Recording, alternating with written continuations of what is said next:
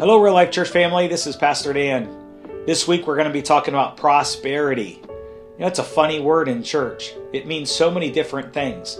But prosperity really has to do with your heart and where your heart is. I'm holding a cup here of a local establishment, and it talks about half empty or half full. It's not about looking at life a certain way, it's understanding who you are and where you're positioned. That's where prosperity begins. It deals with your heart. Do you have a full heart? Do you know who you are? Do you know what realm you live in? It has to do with your, your inheritance. It's all about your inheritance and it flows right out of your heart into your life.